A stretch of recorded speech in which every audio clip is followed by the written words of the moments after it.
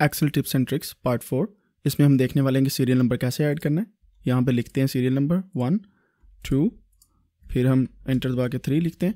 तो इस तरीके से इसका पैटर्न बन जाएगा। पैटर्न बनाने के बाद यहाँ पे क्लिक कर देते हैं डबल तो ये सारे के सारा नीचे तक चला जाएगा। ठीक है जी?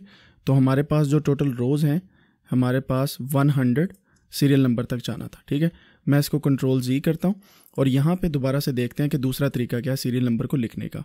वन यहाँ पे लिख दिया ठीक है? एंटर मारा equal to this cell plus one ऐसे लिख दिए गए तो इस तरीके से ये पूरा फार्मूला नीचे कर दिया तो जैसे जैसे आगे जाता जाएगा, सारा प्लस वन होता जाएगा। दूसरा तरीका ये हो गया।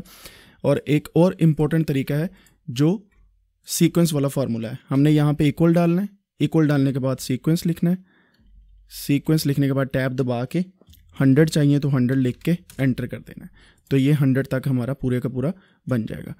यहाँ पे एक और तरीका ये अगर हमने serial number one two three के बजाय रोमन लिखने हो, यानी कि ये हो गया, ये हो गया, ठीक है?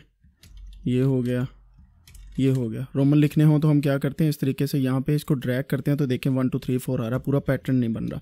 तो उनको करने की बजाय हम यहाँ पे इक्वल टू लगाते हैं रोमन लिखते हैं, लिखने के बाद इसके अंदर लिखते हैं रो रो लिखने के बाद ब्रैकेट बंद माइनस वन ब्रैकेट बंद करने के बाद एंटर करते हैं तो ये रोमन आ जाता है।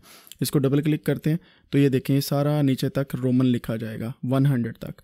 तो आप इस तरीके से रोमन को भी सीरियल नंबर के तौर पे यूज़ कर सकते हैं। Next please